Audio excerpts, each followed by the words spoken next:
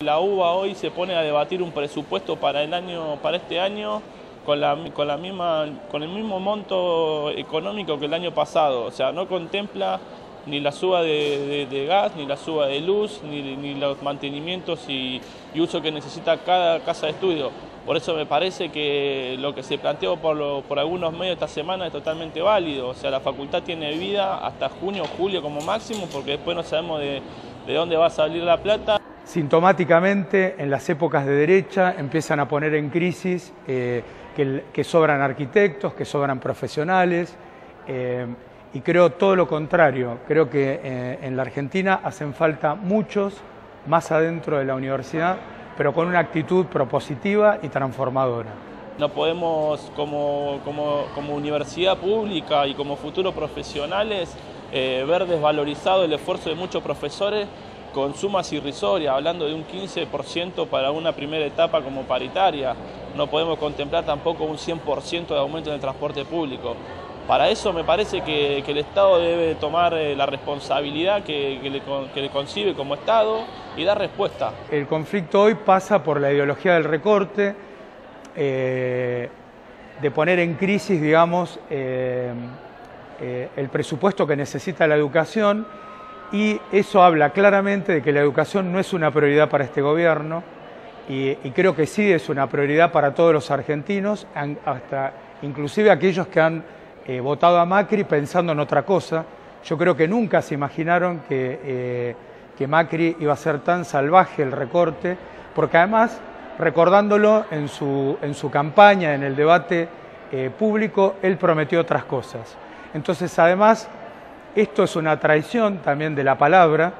y creo que eh, eh, defender la educación pública también es valorar la palabra, valorar la opinión y valorar el conocimiento que no es neutro. También se enmarca esta, esta situación en el tarifazo en el transporte público, digo, todos los, los, que estudiamos en los distintos establecimientos educativos, a nivel primario, secundario eh, y en este caso universitario, eh, venimos a la, a la facultad, a los distintos lugares de estudio, eh, utilizando el transporte público, digo, con el aumento que hubo, por ejemplo, en el colectivo de un 100% y también en otros medios de transporte, ese derecho a la educación que nosotros siempre defendemos del ingreso, la permanencia y el egreso, se está viendo coartado por ese, por ese tarifazo. Entonces, lo que lo que estamos haciendo es impulsar distintos ámbitos multisectoriales, como la multisectorial por el boleto educativo, eh, que nos encontró en las calles el último jueves 21 de, del presente mes, eh, marchando la legislatura porteña desde el Ministerio de Educación, eh, con una columna bastante, bastante numerosa, con un montón de organizaciones políticas y, y sociales, eh, reclamando por un boleto educativo que contemple la, la gratuidad para, para, para los que trabajamos en la universidad y venimos a estudiar en la universidad pública. Todo esto se configura este, en el marco de eh, lo que creemos que es un ajuste hacia la universidad pública que vulnera eh, el derecho a la educación superior. Creemos que lo que está en discusión en la Argentina hoy es el derecho a la educación superior. Este, en los últimos años, de la mano de los gobiernos de Néstor y Cristina Kirchner, con el aumento presupuestario, con la construcción de nuevas universidades, con la ampliación salarial de docentes, no docentes, con los programas de vinculación de la universidad con el sistema productivo y con el Estado, podíamos hablar de que había un derecho a la educación superior en nuestro país. Hoy creemos que el Gobierno Nacional está afectando ese derecho a través de todas estas formas. Y afectar ese derecho no solamente afectar el derecho de los que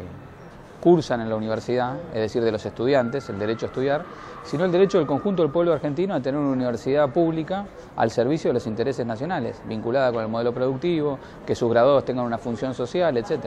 Esta es la discusión general que estamos viendo en la Argentina y en el marco de la cual la paritaria nuestra es un indicador de esa situación.